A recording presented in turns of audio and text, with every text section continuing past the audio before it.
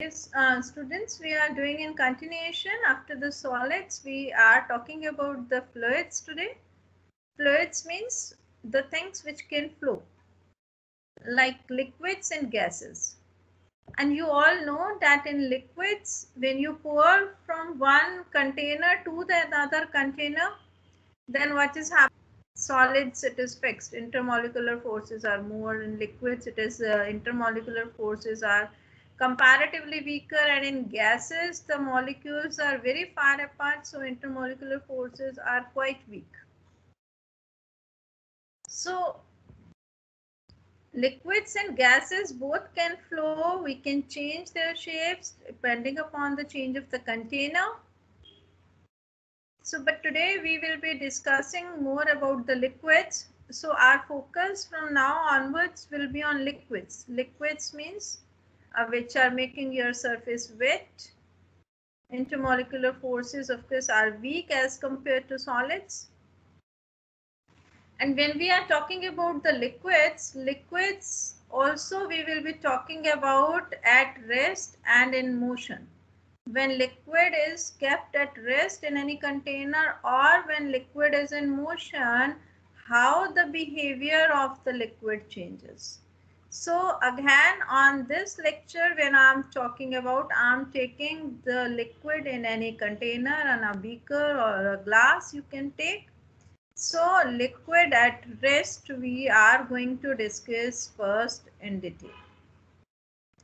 And then in the coming lectures we will discuss that uh, if we allow the liquid to flow from one container to another or we are bringing motion by any means in the liquid then what will happen? So our aim is basically mechanics of liquid.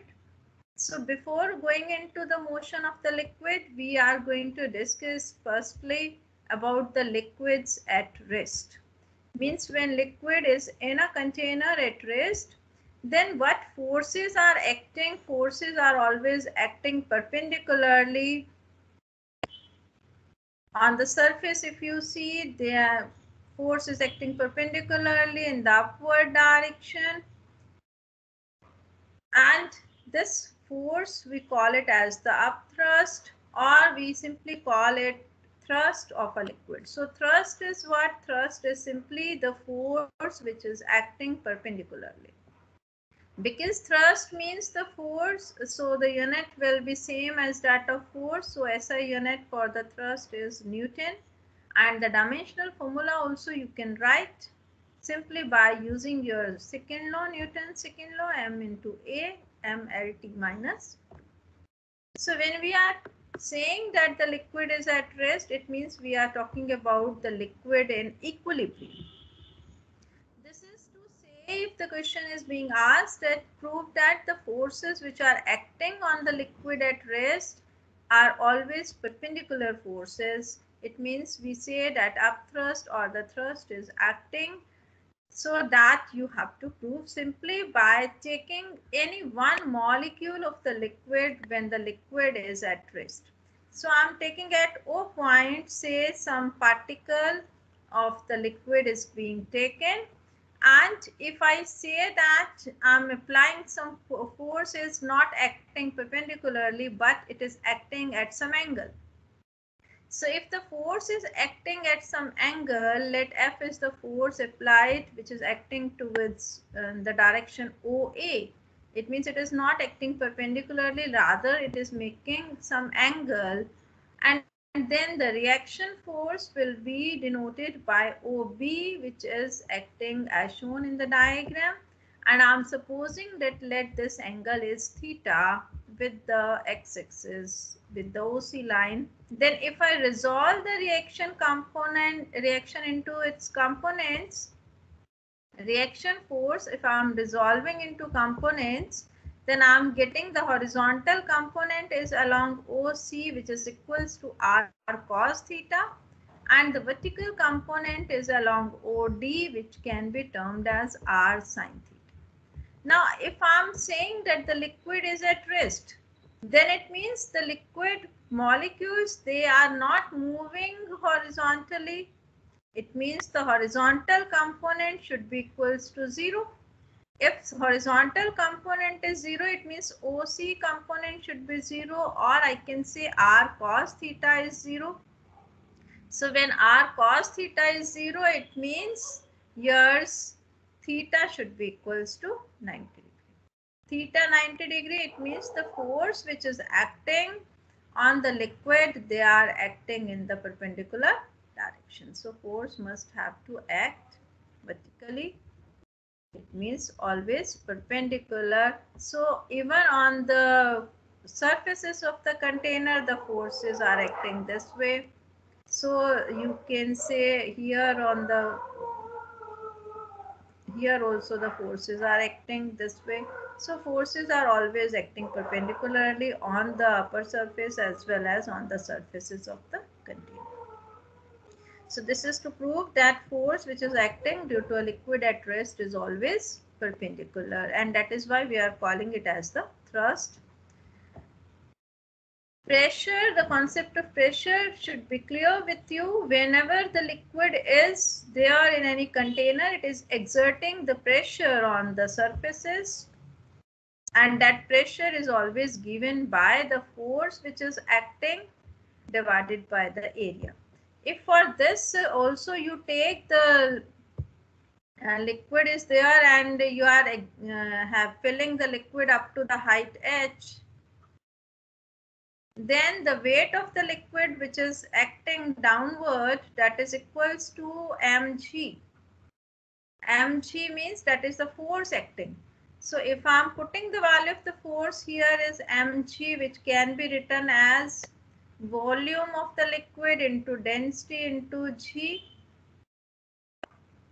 So this can be written as volume is area of cross section into the height of the liquid so you can say that this is again another formula with you if h height is there for the liquid A is the area of uh, cross section of the container if I'm taking A is the area of cross section then pressure which is exerted can be given by rho g h where rho is of course the density of the liquid. So this is Simply if I'm talking about the pressure or due to some solid quantity like you have done in your lower classes that you want take the bags of broader belt so that when you are carrying the bag so pressure it is distributed equally and you have to um, get less force on your shoulders and so you are means protected similarly when you need to uh, put a nail into the wall, then you want a pointed nail. So you are decreasing the area or increasing the area depending upon whether you want to decrease or increase the effect of the force applied. That is for the day-to-day -day life experiences you have observed. But when I'm talking about the pressure due to a liquid, that it, then it depends upon the height of the liquid, whatever is there in the container and then it will depend upon the density as well as the acceleration due to gravity. So these all uh, about the pressure and the units of this will be Newton per meter square or according to the name of the scientist who worked on the pressure it is termed as Pascal also. So 1 Newton per meter square that is termed as 1 Pascal. This is again to revise the things you can look around and see the various applications where the concept of pressure has been applied. Like I've said, in putting a nail on the wall, you need a pointed nail so that you are able to put it in the wall by applying the less force. Density rho which we are denoting, it is always given by mass upon volume. So mass of the liquid divided by the volume of the liquid that will give you the density which is of course a scalar quantity units are kilogram per meter cube and when we talk about the relative density or specific gravity the name is given that is by comparing the density of the substance to the density of the water at 4 degrees Celsius because density of water at 4 degrees Celsius is 1 to 10 power 3 kilogram per meter cube. So we are always comparing with the density of water. Whenever we have to find the relative density of any substance. So for air, the value is 1.29. So that way you can always compare or you can be given with the relative density in the numericals you should be able to understand the meaning of the relative density. So the important topic with you, which is there, which can be asked directly question also, that you have to state Pascal's law. The Pascal has uh, given you the law for applying the pressure like various uh, parts are there for the statement of the Pascal's law. First part, it says that the pressure exerted at any point on an enclosed liquid. Enclosed liquid means I'm having the liquid is there in any container and it is enclosed means we are saying that it cannot go out and then if you are making the openings you are exerting the pressure like if i'm having the openings of the equal area on all the sides with movable pistons with me then if i exert the pressure means the force here on one area of this pressure is being exerted on this liquid this liquid we take it about the ideal liquid which is actually not possible but we are considering any incompressible liquid. Inelastic it means. It is not able to get compressed. So water is the most appropriate example of the ideal liquid. Non-viscous it should be should be incompressible. So then what happens? All other piston moves equally in all the directions it was observed. So if I'm taking any enclosed fluid and I'm applying the pressure here on one piston if areas are kept equal and that was transmitted equally in all the directions. This is the first statement that the pressure exerted at any point on an enclosed liquid is transmitted equally in all the direction and that was done experiment by Pascal and then only the law or the statement was given to you. Second thing, he said that change in pressure applied to an enclosed incompressible liquid. Incompressible liquid, non-viscous liquid, that is termed as the ideal liquid. So that is transmitted undiminished. That means if I'm applying the pressure here, again the same thing, that no pressure is getting lost at any point. So it is getting transmitted equally. So this is simply the repetition of the thing. The second point I should write the pressure in a liquid at rest is same at all the points if we ignore the gravity. So if I'm taking the liquid at rest in any container, then if I'm saying that no gravitational force is there, then pressure at this point should be equals to pressure at this point. So at P1 should be equals to P2. It means if there is no gravity, it means if we ignore gravity. That is again the important point with you and that also can be proved by assuming a liquid cylinder. Here we are taking the liquid cylinder in the container. We are supposing let a is the area of cross section and we are saying no it is not true that pressures are same. So we are taking the pressure difference is there. So here at this point pressure here is p1 at this point pressure is p2 and in the center, if I'm taking any point where the whole mass of the cylinder, I can assume to act, that means center of mass of the cylinder. Then weight which is, which is acting downward, the weight is mg. So mg is the weight which is acting downward. This is also acting downward and this pressure P2 is acting upward. Now, if the liquid is at rest, it means the upward forces should be equals to the downward forces. So it means mg is the weight. So force due to P1 I need to know, force due to P2 I need to know, then only I can put the forces in equilibrium. So force is given by the pressure into area. So that is why F1 force you can write it is equals to P1 into A. A is the area of cross section. A you are you can write here A is the area of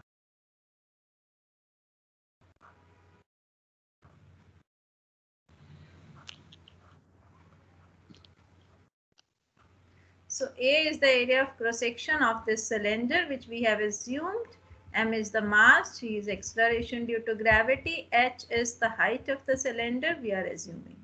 So all these assumptions you need to mention in the beginning.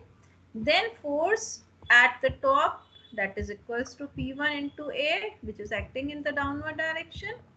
Force at the bottom that is P F2 that is equals to P2 into A which is acting in the upward direction and the weight mg which is acting in the downward direction can be written in terms of volume into density where rho is the density of the liquid.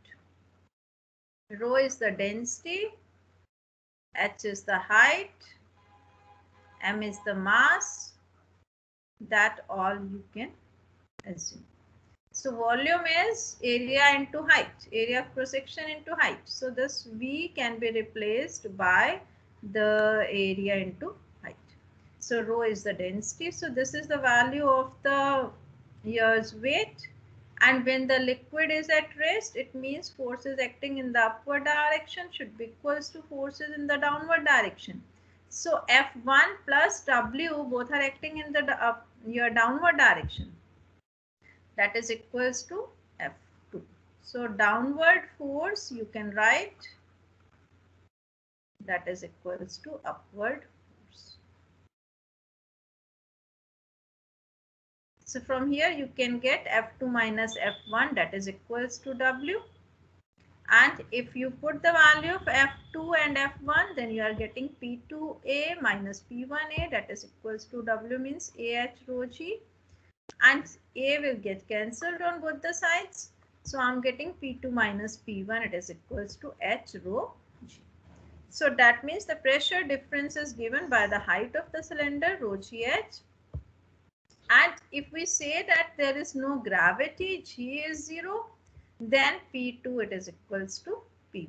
It means pressure at all the points is same in the absence of gravity. So this is to prove that the first statement of Pascal's law that pressure at all the points is same if gravity is ignored or we say that there is gravity. And about the second part of the statement that pressure is equally transmitted that also you it was proved experimentally by changing the areas of cross section of the out this is enclosed liquid taken in any container having the very variable area of cross sections like here the area is 2a here area is a and here at a point the area is capital A. so you call this point as d point not to get confused. At d point the area is a c point area is a by 2 at b point area is 2a now pressure is equally transmitted means force upon area. If at this point if I take, I apply the force F, then it was observed that force here to keep the liquid at rest, force applied becomes equals to 2F. And here the force by 2 and only the liquid remains at rest and that is why this ratio is same and that was again proved experimentally. So this was to prove the past statements of the Pascal's law experimentally or mathematically.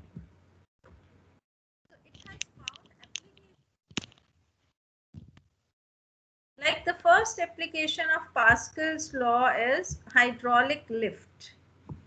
This is used and many of you people have made the project also on this Pascal's law that is simply if I change the area of cross section of this piston. But I hope you all have seen the piston. Piston is actually like this. It's having certain area and a handle on it. So it's like uh, you have seen the syringe. In the syringe, when you take the piston out that you see, you can see the area of cross section. So this is the three dimensional view if you see this piston's three-dimensional view, you will be getting a disc with the handle. So that disc is having the area of cross section. That area of cross section can be different for different sizes of the syringes. So when you take the syringe, you all, many of you have made the project with those syringes. So you have experienced. If you have not experienced the syringe, then you must have experienced uh, the pichkari when you play Holi. So when you are taking the piston out of that pichkari, you take you can see that is it is a circular disc with a handle. So that also can be kept in mind that when I'm talking about a movable piston, I mean a circular disc with a handle. And always this is a cylindrical containers with you. So this circular disc can be fitted comfortably.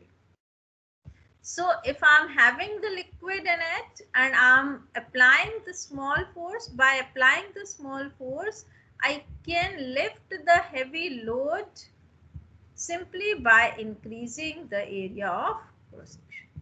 So here if area of cross section is taken small a, here I have taken the area of cross section as capital A, then by applying the less force here, I will be able to lift the heavy weight here that is by the statement of Pascal's law as pressure is same equally distributed. So force on the large piston that is capital P into A but this force which is pressure which you are exerting on the small piston that is small f upon small a. So pressure is keeping same using Pascal law. So I can replace this value of pressure that is small f upon small a multiplied by capital A I'm getting because capital A is greater than small a. So force here which will be acting, which will be lifting the weight that is of course going to be greater than the force applied. So you can always lift the heavy load. Second application with you is hydraulic brake. And we all are uh, using the vehicles in which we are putting the uh, special brake oil is there. Brake oil is there in the master cylinder, you can say. And you all know that in fuels, you always need to put the brake oil separately in that cylinder. So that is one is fuel which is making your vehicle to move. Another is the brake oil which is used many times to apply the brakes. So this is the structure showing you the hydraulic brake. And of course, the advantage is that I can reuse this oil number of times. After six months, only you change the brake oil. So this is connected. This is master cylinder in which we put the brake oil, which is connected to all the wheels. This is only one wheel I have shown in the diagram in which you are having a spring system of course to make these brake shoes to come in contact with the inner lining of the wheel. And here there is a wheel cylinder in which this brake oil is going and with this wheel cylinder I'm having the movable pistons P1 and P2. Of course piston means a circular disc with a handle. And here also a piston P is there which is there with lever system so as to distribute the force equally when you press the pedal brake pedal. Then this is the force is being applied on this piston and due to that it gets inward and due to this this brake oil starts moving to all the wheels. And this is one wheel i'm showing the liquid is going here the brake oil is going into this wheel cylinder which makes this brake shoes to move and come in contact with the inner lining of the wheel and as a result your wheel will stop. And when you release this brake pedal, the spring system will bring it back. This liquid will come back into the master cylinder. So this step will get repeated whenever you apply the brake. So simply by pressing the brake pedal, you are able to stop the wheel because of these internal arrangements which has been made. And we are using the brake oil, a special liquid and that is why we are calling it as the hydraulic brake. And advantages are of course we are able to put the equal retarding force on each wheel. And small force we are applying on the pedal which is exerting large force on the wheel drums because we are using the lever system. So these two applications of Pascal's law you need to keep in mind. This is one uh, paradox I can say which was given by uh, Pascal again. If I'm having the liquids of liquids in the different shapes of the container then it was observed that if I keep the height same in all the containers, then the pressure applied is same because you all know pressure is given by rho into g into h. So it is independent of the shape of the container because otherwise general observation was that if I'm having the quantity of liquid is less or more then pressure applied will be less or more accordingly. But it was said by Pascal that it is independent of the quantity of liquid. It depends upon the height of the liquid in the container. So it is independent of the shape of the container and that is why it was said as the paradox. Hydrostatic word means liquids at rest. So when we are talking about hydrostatics means that is we are discussing the liquids at rest hydrodynamics we will be dealing in the coming chapters then we will be talking about liquids in motion. So hydrostatic hydrodynamic words should be clear. And when we talk about the pressure at any point here in nature that is the atmospheric pressure. That is atmospheric pressure is your 1.01 into 10 to power 5 pascals this is barometer which were designed to measure the atmospheric pressure that is 76 centimeter of mercury. Barometer is a device which is used to measure the atmospheric pressure. And gauge pressure is the pressure which is measured.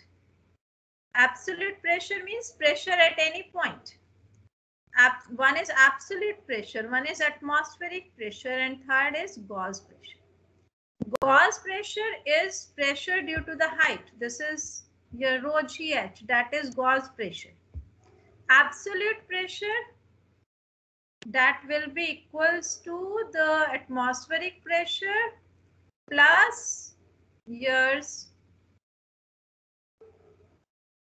This is absolute pressure pressure is atmospheric pressure plus gauge pressure. So this is, uh, you should be knowing with the things. So whenever you have to find the gauge pressure that is given by rho g. So the, this uh, difference between the pressures should be clear with all of you. And you keep things up to this for today. Continue in the coming class. So keeping things up to this today. Thank you everyone.